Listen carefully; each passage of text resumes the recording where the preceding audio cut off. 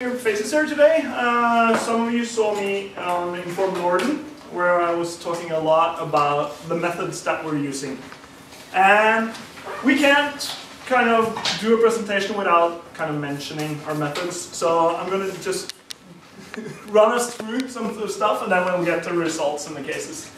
Uh, in Ruter, we're using uh, something called design thinking, which is this huge quotation here with a cool guy with a cool name and stuff like that. Uh, design thinking is a system that uses designer sensibility and methods to match people's blah blah blah blah blah uh, blah blah. Whereas we say in uh, in uh, we make the right stuff at the right time. And that's basically what we do. It's good that you take pictures, Jonas, so that we. Um, because behind every good and great idea in Ruter, there's at least 40 bad ones. Uh, our methods enables us to know which one is the good one among those 40 in just five days. And that's pretty awesome. Um, and um, we need to understand our customers uh, because without our customers, we're just kind of experts sitting in a room creating stuff that no one ever will use. Uh, and we need to understand uh, what our users are using, when they use it, and how they use it. And to help us do this, we created these principles. So basically user experience principles or customer experience principles.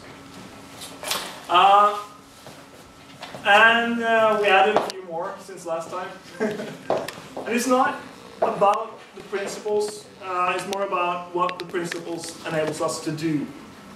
Uh, because this kind of created a shift in how we do stuff in Ruter. Uh, we have collected knowledge about our customers for the past 10 years. We know a lot of them. Uh, we know what they need, we know what they think. And we have used a lot of time to actually plan projects, doing projects, making stuff. Um, but with our method, we kind of just make stuff and get it out there. And we fail, and we fail fast, so that we know what to make at the right time. Um, so, uh, to hit it off, uh, we just started making stuff, and we're going to present three of those things today. Starting with automatic payment. Yay! So uh, this kind of goes on the, I think it was Nico, who was talking about beacons in all the different places. So in uh, Ruter we also have a very technologically driven uh, management. So they decided a while back to start using beacons. Beacons is awesome. Yes. So with, without really having that much of a plan on what the customers should use it for. So basically we are trying to figure out what the users can actually benefit from that kind of technology. And we started uh, uh, kind of looking into can we make people stop thinking about normal ticketing. Uh, and we, for the last couple of months we've uh, made an MVP for invisible uh, payment. Uh, and it's a kind of hairy vision here, best user experience of all time. Uh, but basically, it's to make travel easier and have people stuff their mobile in their pocket without going looking at it or touching it all the time, and just kind of go on the bus and go off the bus and never having to consider ticketing. And so we came in this spring-ish. Yeah. Uh, and then the beacons have been up on a bunch of test buses for uh, almost a year, I think.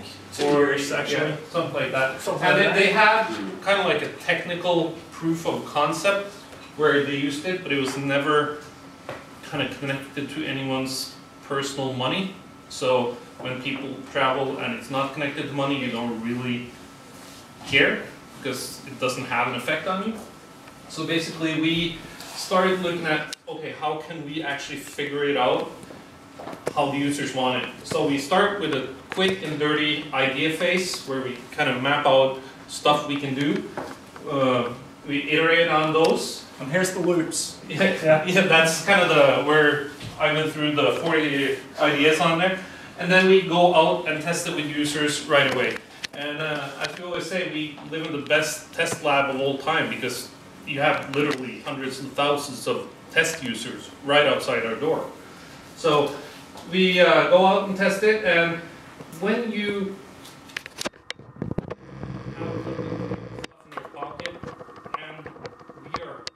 charge of their money, that that's a very important thing. The trust factor of do they trust Ruter? Do they trust us as their manager of money? Do they trust the technology? Do they feel safe? Do they think less about payment? Before, as our like CEO always said, no one wakes up in the morning thinking about, oh, today I really, really want to buy a ticket. And this is kind of like, do they now think less about this? And are they more satisfied? That's kind of what we're trying to figure out. do they even want this? Exactly. We don't know. So that's why we need to test it. Yeah, it's one of the hypotheses is, of course, they want it, but we need to fi- figure out how much they want it. How important is this in kind of justifying the beacons technology? So, in all these iterations, and this is uh, by no means done, this is kind of our end product that uh, we ended up with. We had a lot of hypotheses that people need a lot of information. They need to know about Bluetooth, they need to know about payment systems, they need to know about mobile data, etc., etc. But it turns out all they really need is some kind of confirmation that it's all ready. You just step on the bus and you have a valid ticket. And how we figure it out is, of course, talking to those customers, getting those in to the room. Uh, and this is actually from uh, two months ago when we had uh, our onboarding for a pilot phase where we had 10 users for one month traveling solely with this app as their, uh, as their ticketing solution, really. Yeah. Uh, didn't do anything else. We, we deleted all their uh, data from the original app. We took away their travel cards. Yeah, we actually had to march like 10 people down to the customer service point and have them get refunded for their travel cards, etc., so that they actually felt real with the, Yeah. the actual payment of They the shouldn't have a fallback Yeah, because then they're safe. Yeah. We wanted to see will they be safe with our new app Yeah. or our new solution. Yeah, and uh, of course that means uh, we have to get up at uh, ungodly hours to talk to our customers because it's uh, it's kind of when do they travel, when do they do their stuff, and we need to kind of follow their 24-hour rhythm. So we actually travel with them and uh, and we meet up at their home. Often get a cup of coffee, nice people, and then we just go to work with them and then, then just observe what are their difficulties, what what do they like, when do they get annoyed, when do they not get annoyed, when they're happy. And when are they stressed? Yeah. you know, because they then we kind of because we sit in our room and we think we know stuff, but we really don't know anything. We don't know when they're stressful, when they're not stressful, when we kind of hold their hand and we, we need to hold their hand when we don't need to. Uh, and and this one is actually one of those that because there's a lot of different users, some need more hand holding than others, and uh, she was one of the ones that didn't feel that safe. So she always kind of had her phone up in the in the bus, looking at it, even though it always worked for her, but she never really trusted it that much. Yeah, and you get to know a lot of uh, details about the customers and what they do. But then we also figure out how well it works when it works uh, and how much people like it. Uh, and this was uh, it was an app that did in in addition to the just the automatic ticketing, we did a what's a post post payment Yeah. or uh, yeah, what's the, uh, like invoicing at the end of the month instead of uh, postpaid. Uh, so they didn't really have to think about anything. They kind of set it up once. They traveled and they didn't pay anything. And then we did a monthly capping because it was a single ticket solution. So every day they traveled, if they used to have a monthly ticket, which cost something, uh, a single ticket would of course go above that if you travel enough. Then we did a capping solution, which made them not have to make their own strategies for payment. Because as most people know, when you, you come to the end of a month or end of a period or close to a holiday or close to a weekend, people start, ah, if I now skip this today or tomorrow, I will save twenty dollars because I don't have to buy my ticket until like next week. And you they come up with all these strategies for making money which of course makes no sense but that's how people think. And with this it's kind of removing that as well so people just travel they don't need tickets they don't need to consider money because we kind of take care of it yeah and uh, you want to say something about this Eivind? Uh, yeah, well, this is an iteration we did post test Yeah. uh, because we uh, we had some um, some hardware issues, you guys are going to run into as well. but it's about uh, in, in in geek speech uh, speech it's uh, about triangulation of uh, a user going into a bus that the the ticket system doesn't always detect that a user is on the bus. Um, and we had some problems with that, uh, which got worse during the test. Uh, so we wanted to kind of see if, what if we don't talk about tickets at all? What if you just don't, ticket is not a word. You just go on a bus, you go where you want to go, and then that's it. So we made a system for that as well.